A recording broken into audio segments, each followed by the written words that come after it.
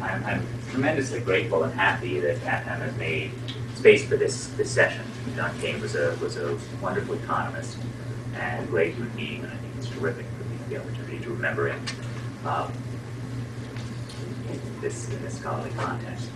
Um, I'm actually not, despite Paul's, uh, despite, despite Paul's uh, suggestion to do so, I'm not going to recount any funny personal anecdotes or any, any of those things. Um, it should be clear that I respect John Kain as a scholar enormously, but I respect him even more as a human being.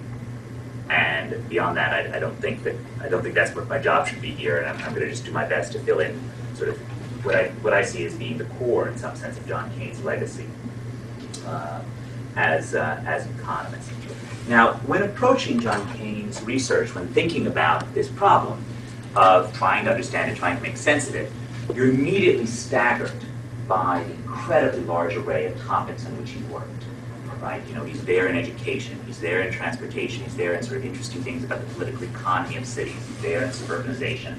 It's very, very hard to think about an area of urban economics that John did not touch, and touch, in fact, in a masterful way, almost always when, when he did touch. I mean, you know, there are so many times when I find myself working on something and then, you know, I go back and look at something that John wrote and say, you know, he really got it, you know, 40 years before I did. And, you know, um, it's a, it really is, is amazing. But there's another sense in which it is possible to find a coherent center, which is not in any sense to minimize all the valuable things that he did by, by straying. But um, this, this actually gives the chart of John Kain's 10 most cited papers according to SSCI uh, recently. Now, this is not in any sense to suggest that a man's legacy is shaped by a citation. John gave a great deal more than that. But it, it does suggest at least where the bulk of John's scholarly impact has come. And it does suggest when you read this, as opposed to just being, you know, torn aside by, by the, the dozens of different different papers, it sort of makes it, makes it clear what the theme is, right? Five of these papers, and more than 50% of the sites, are directly on race right? They are directly on race. Spatial mismatch, uh, housing markets and racial discrimination with, with joint with uh, John Quigley, the AER paper uh, with Quigley, Persky uh, and Kain on the uh, Kain and Persky on the Gilded uh, Ghetto, and his spatial mismatch hypothesis 30 years later. This is more than more than you know one half of the citations on this on this page are, are directly about race. Um, I think actually the other thing that's remarkable about this list is the extent to which the non-racial papers ultimately served as the basis for John's understanding of race in the American city. So if we think about, you know, the urban transportation book, it is clear that he used that, that he pushed John Meyer, at least in John's description of it, towards confronting the role of race in, in cities through the book it is clear that he used his thinking, and I'll, I'll, talk about this in a second later, it's clear that he used his thinking about suburbanization or about the connection between workplace location uh, and residential location as the basis for his thinking in the spatial mismatch hypothesis. Um, and it is also clear even today that I mean, I, I, I just won't talk about it, but much of John's you know, passion for education comes out of passion for the American minority experience and comes for, comes for understanding. So at least I see this as being the unifying theme. It's fundamentally about race.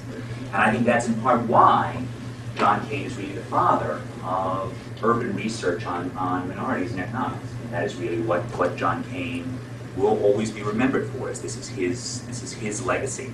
And I think it's also it's hard to tell this. I think it's also pretty clear that's fundamentally where his heart was. That was really what he was what he was most passionate about.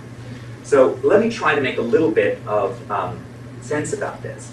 Uh, John Quigley, I think, did, did, a terrific job of setting setting up John Kain before the spatial mismatch hypothesis, setting up what his major contributions are. I'll just do a slightly different spin uh, on this. The, the three big things I think that John Kain did before the spatial mismatch hypothesis were his work on workplace and residential location, starting his thesis and then sort of you know pushed through in the urban transportation problem and agreed to which there's transportation costs are important. If housing is flexible and workplaces are fixed, that people are going to move to places that are close to their workplaces, if, which naturally leads to the to the corollary that if houses are fixed and uh, workplaces are, are movable, then you're going to move your workplace closer to where you live, or in some cases you may not work at all. is, is too large.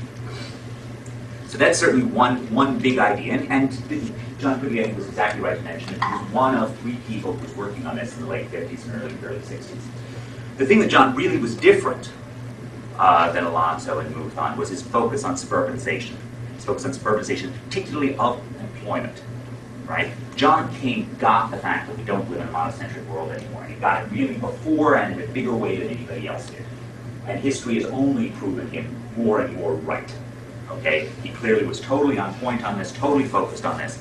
And, you know, 40 years later, when 75% of employment in American cities lies more than three miles away from the, from the CBD, from the core of the, of the city, you know, it's very clear that the sort of monocentric model does less and less justice to any aspect of, of the cities. Of course, it still remains rampant, I think in part because it is so tractable and it is, it is so elegant.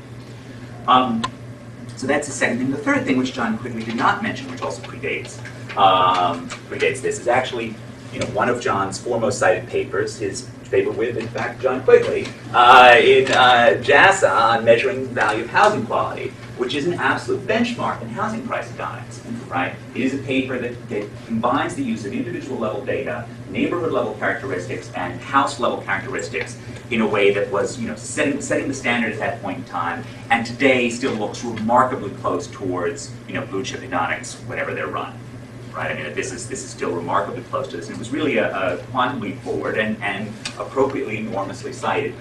So John has these sort of three big things. He has a lot of other things that he did. But what's remarkable is they all come together to form the basis of John's research on race. Right? He takes these things, and different economists could have gone a different way. You could have taken the JASA article and said, you know, I'm going to be about some other technical aspect in terms of estimating housing economics. No, he uses it to try and figure out whether or not African Americans or whites pay more for equivalent housing in cities. You could have focused on suburbanization and any number of topics, but he focuses specifically on this issue of the spatial, the spatial mismatch. Now, might as well leave this up. I should try and put the race stuff in a little bit of historical perspective. Before John Kain, study on, on race in cities was in fact quite considerable, but it was not handled by economists. Right? There's a large sociological literature, certainly going back to Du Bois, of including, you know, Du Bois himself, and Drake, Talbert and Tauber, Kenneth Clark, number of things in history and sociology that dealt with it. But the economics literature is tiny. Okay, in fact, if you do a general general JSTOR search on what economists were writing about race in the 50s, by and large, it's about unions. By and large, the bulk of the papers, there ain't many, are about various aspects of discrimination in the union movement. There are is you know a literature that's connected to Gary Becker's uh, book in 1957. Um, but even that is still relatively small in, in the early years. Um, so race is really not a huge part of economics at all, and in particular, it's sort of in general avoided, one gets the sense, because of this general economics decision to avoid the soft stuff, right? That we're not about these sort of sociological topics. We're hardcore guys who are about, you know, doing measurable stuff that really, you know, really important financial markets. Um, and you know, there's a sense in which John Kain should be understood as being as opening up this topic and as making the study of race in cities, making the study of segregation legitimate for mainstream economists. Um, I think actually it's important for understanding the spatial mismatch hypothesis to understand that this is one of the things that he did, and that, that actually that wasn't an easy thing to do. So let's just remember what exactly the spatial mismatch hypothesis says. Let's just remember the, um, the, the basic ingredients housing choices are constrained by discrimination. Okay, and that's the bulk of the, the St. Louis research is focusing on this. Uh, that leads to segregation between people and jobs, that creates long commutes and underemployment, uh, and suburbanization is only making this worse. Right? These are these are sort of the four cores of, of this. Often the big message that people have taken away from this is that segregation is really bad. Okay, that that's sort of the big central message of this. What's really interesting about this is that by focusing on the distance between people and jobs, he made it legitimate to study segregation for economists. The things that we now think are more central were the effects of segregation, the effects of neighborhood, effects for young kids growing up, the effects of schools deteriorating, the effects of low levels of police protection for kids on the street. All of these things would have been completely anathema to the economics establishment in 1967. Right? These, was, these were not topics that were economist topics. But you know, distance between people and jobs, that was economics right? So what John did, and I often got the sense talking to him that he knew exactly what he was doing. That he sort of focused on something that you know economists could do, in order to lure them into sort of the broader study of, of race in the American city. Um, and you know, the, the, the history after this is, is uh, it's hard to argue. The literature, the literature has been vast. Um, some aspects of the spatial mismatch hypothesis have been uh, confirmed over time. Some have, some have had a more mixed history. Um, if we go to the, the, four, the four key elements, the idea that housing choices are constrained by discrimination. I think the bulk of the I think the bulk of the literature has fairly said that certainly there has been tremendous discrimination against African Americans, both in the past and today, in various aspects of the housing market. I think that's uncontroversial. I think it is less clear that segregation is driven primarily by that relative to decentralized white racist tastes. My own take on the data is that in the 1950s, centralized racism was dominant, and in the 1980s and 1990s, decentralized white tastes are, are dominant. That would be my own take on what this is. And I think, by the changing prices, as we all know, sort of blue, the blue chip test that was you know, developed in part by, by Caney Quigley, this notion of whether or not blacks or whites pay more for equivalent housing. You know, that in St. Louis, that in the 60s really did, or Keenan Mieszkowski's work on uh, Haven really does suggest that historically, African Americans were paying more for equivalent housing. I think it's hard to say the same thing today. I think it's very, very hard to look at the 2000 census or the 1990 census, at least for rental units, to think there that this is actually going on. And in part, this, is, this can be seen in terms of the massive decline of housing costs within predominantly African American areas in the past 30, 40 years.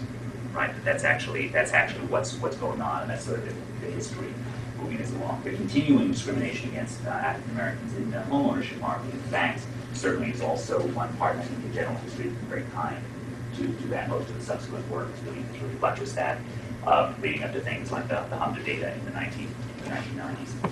The, the second pillar of it that um, housing market discrimination is related to segregation between blacks and whites is uncontroversial, that it creates distance between people and jobs um, seems seems less seems less clear. I mean, even at the time, remember in Kain in '65 pointed out that segregation, housing market discrimination against blacks actually reduced the average commute for blacks relative to whites. There's actually a direct sentence by by Kain and, and Meyer on this on this issue.